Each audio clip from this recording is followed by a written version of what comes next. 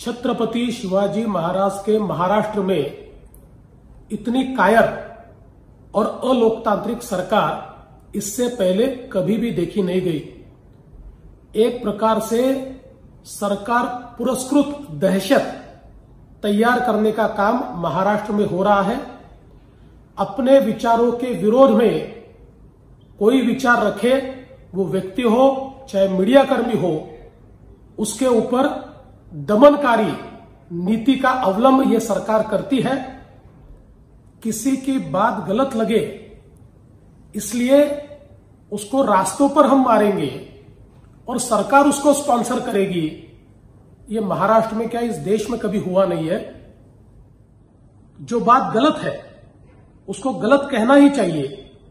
लेकिन उस बात से महाराष्ट्र का जितना अपमान होता है या महाराष्ट्र पुलिस का जितना अपमान होता है, उतना ही अपमान सरकार जिस प्रकार की कार्रवाई कर रही है, उस कार्रवाई के कारण महाराष्ट्र का पूरे देश में हो रहा है।